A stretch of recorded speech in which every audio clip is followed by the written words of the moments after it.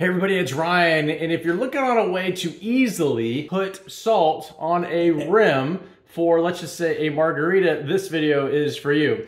So this is the brand Mix Master, and it happens to go great with the margarita mix by Jose Cuervo. I mean, just top of the line, easiest mixer.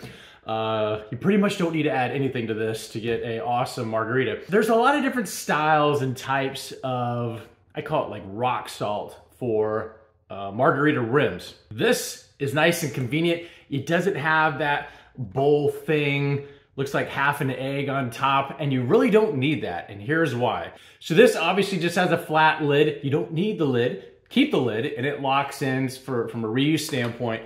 But this is all you gotta do. You just take your glass and you take, you can run this under the faucet, you know, before you put any ice or anything, just kind of run around the faucet. So for this example, we'll just dip this in a bowl right here that just has some water in it.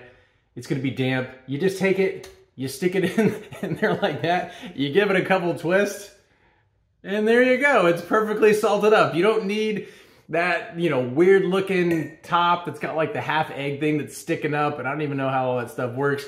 This is the way to go. Now, if you're thinking, well, I have a massive goblet I want to put salt on. Well, this is four and a half inches wide, glass or goblet or whatever. It will fit perfectly in there. And gonna give you an idea, the salt on this is kind of like a, a, rock salt, like a restaurant style.